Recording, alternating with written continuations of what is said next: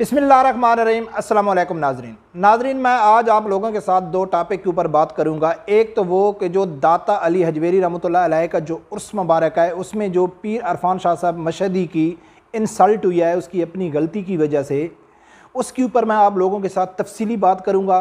दूसरे नंबर पर आज, जैसा कि आप लोगों ने थमनल में देखा है कि पाकिस्तान की सबसे बड़ी सोशल मीडिया टीम सबसे बड़ी फेक न्यूज़ की एक्सपर्ट जो सोशल मीडिया टीम है, जो बदतमीज़ी बद तहजीबी में नंबर वन है, यानी कि पीटीआई की सोशल मीडिया टीम उस टीम के एक पॉइंट के ऊपर मैं उनकी दिल से रिस्पेक्ट करता हूँ, इज़्ज़त करता हूँ। तो शायद आप लोग ये मेरे साथ इख्तलाफ इख्तलाफ भी करें, लेकिन आप जब सुनेंगे वीडियो तो मेरा ख्याल है कि आप लोगों को समझ आ जाएगी। तो नादरीन, सबसे पहले बात करते हैं कि दाता साहब में जो वाक़ पेश आया। नादरीन बहुत सारे लोग हैं, पीर अरफान शाह साहब को बुरा भला कह रहे हैं, उनके ख़िलाफ़ बातें कर रहे हैं। तो उसको ऐसा नहीं करना चाहिए था। आगे आवाम ने जो किया, उसको सराहा जा रहा है, बिल्कुल सराहना चाहिए। आवाम माशाल्लाह बाशूर है। नादरीन ये जो वाक़ हुआ है, ये यानी कि टोटल मसला के बरेलवियत के ऊपर, यानी कि ये बात है। इसमें किसी कोई सियासत या कोई दूसरे मसले का तलक नहीं है। टोटली बरेलवियत के साथ तलक है।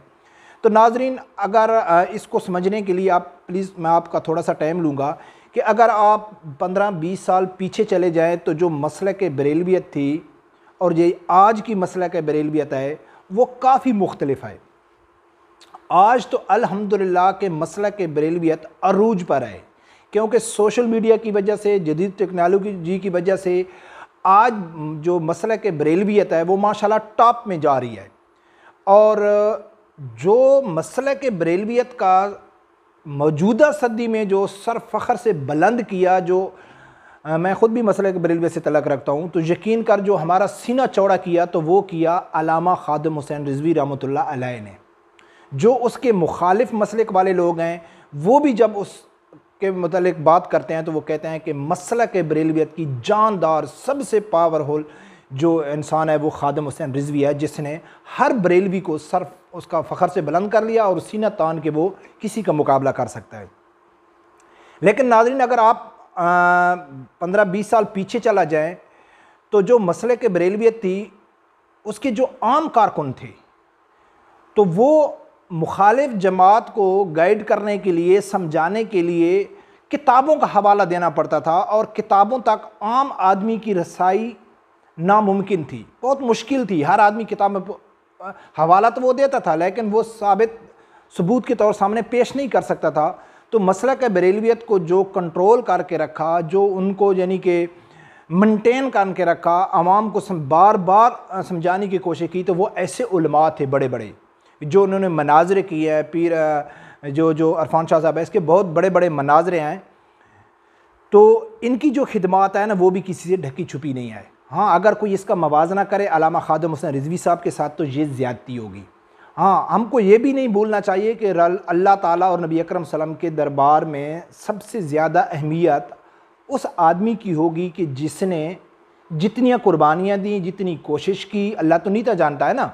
एक आदमी आए कि वो मेंबर में बैठ के, यानी कि बातें करता है, और एक आदमी आए कि उसने बाहर आके उसने कुर्बानियाँ दी, उसने स्ट्रगल की, उसने हर मुश्किल का सामना किया। बिला खौफ मुकाबला किया तो ज़ाहिर है उसका रुतबे तक तो पहुँचने के लिए किसी आम आदमी के तो बस की बात नहीं है ना।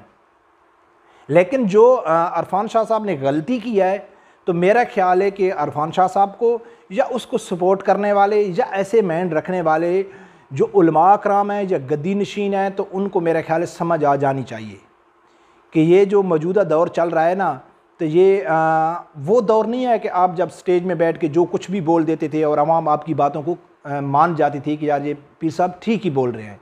तो अलहमदिल्ला के ये सब पाकिस्तान में इस टाइम बरेलवियत की जो बीज नए सिरे से बोया गया है ना वो अलामा खादम हुसैन रिजवी साहब की जो तालीम है उसकी जो तरबियत है उसका जो नज़रिया है वो अलहमदिल्ला हर बच्चे बच्चे में हर बरेलवी मसलिक में आपको हर जगह में नज़र आएगा। तो पीर अरफान शाह साहब अल्लाह बेहतर जानता है कि उसने तरीके लब्बैक के नारे की मुखालफत क्यों की? हकूमत का प्रेशर था, या वो ख़ुद भी इख्तलाफ रखते हैं? लेकिन उसने जो गलती किया है, उसकी गलती की सज़ा उसको मिल गई है। सब लोगों के सामने मिल गई है। बरकत मेरे बात करने का मकसद ये है कि तहरीक जो पीर अरफान शाह साहब है उसको जो उसकी गलती थी, उसकी गलती की उसको सज़ा मिल गई है, लेकिन सोशल मीडिया में उसके ख़िलाफ़ कंपेन न चलाई जाए। मैं रिक्वेस्ट करता हूँ, मेरे नज़रिए से आप इख्तलाफ भी कर सकते हैं। तो आप उसके ख़िलाफ़ क्यों? कि ये बरेलवियत को नुकसान है, ये बरेलवियत को कमज़ोर करने की साजिश है। और पीर इरफान शाह साहब को इस चीज़ का यकीन एहसास हो गया होगा।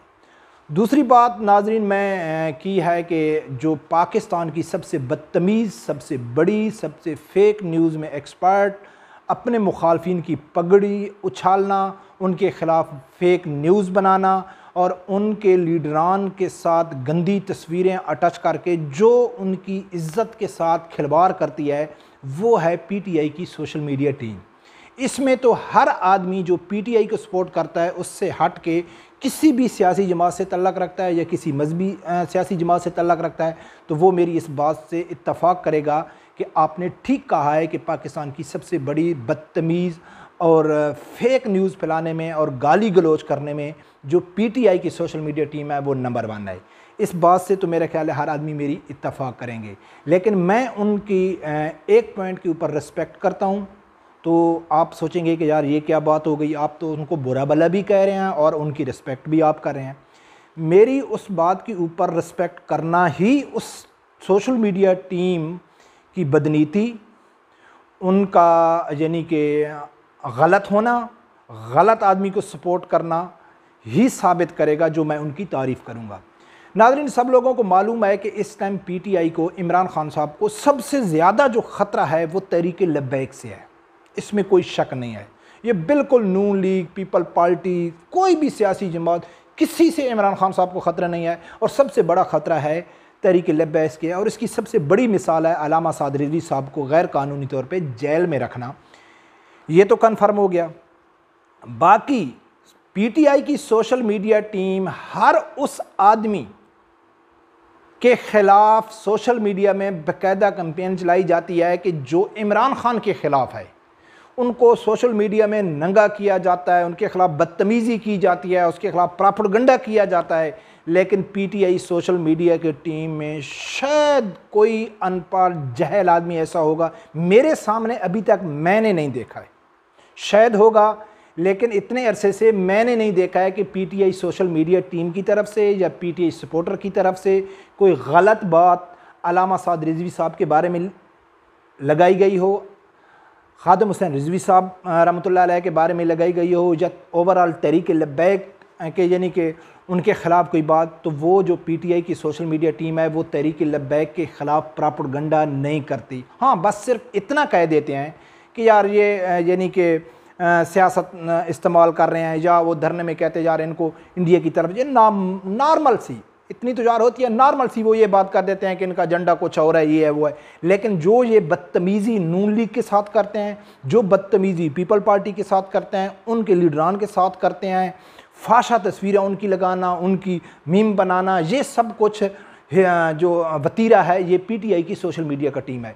लेकिन वो लोग तरीके लब्बैक के जो लीडरान हैं उनके ख़िलाफ़ ऐसी गंदी गंदी बातें गंदी गंदी हरकतें नहीं करते। इससे क्या साबित होता है?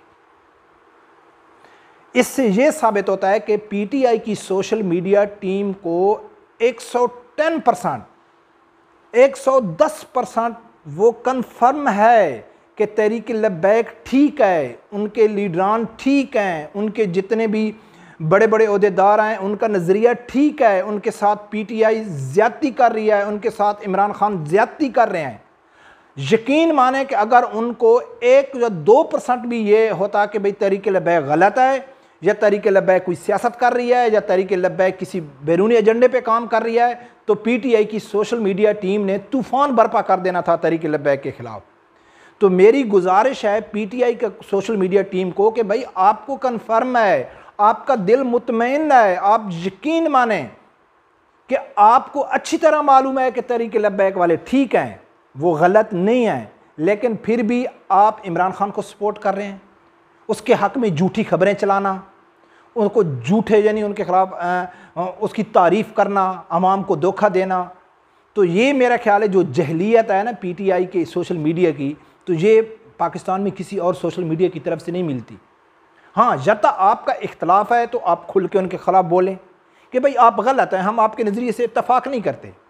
आप नहीं बोल रहे उसके ख़िलाफ़ हालाँकि तहरीक लबैक वाली सोशल मीडिया टीम बदतमीज़ी तो नहीं करती, लेकिन हर लिहाज से इमरान खान साहब की क्रिटिसाइज़ करती है, उनको बुरा भला कहती है, उनकी गलत पॉलिसियों की निशानदेही करती है, डेली उसके खिलाफ करती है, लेकिन पीटीआई सोशल मीडिया टीम तरीके लबैक के खिलाफ कुछ नहीं करती।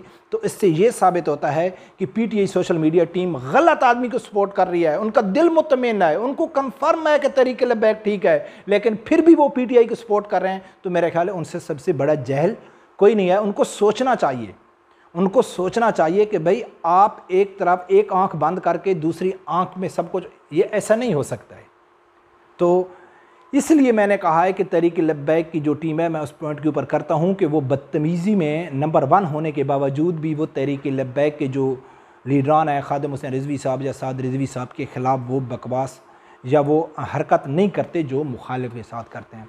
तो नादरीन, मैं उम्मीद करता हूँ कि आप लोगों को मेरी वीडियो समझ आ गई होगी। अगर आप मेरी इस बात से इख्तलाफ़ करते हैं तो आप कमेंट्स में अपनी राय दे सकते हैं। और रब परवरदगार से यही दुआ है कि अल्लाह ताला हर आदमी को हक सच सुनने की और उसके साथ खड़े होने की तोफ़ी अता फरमाए। अल्लाह हाफिज़।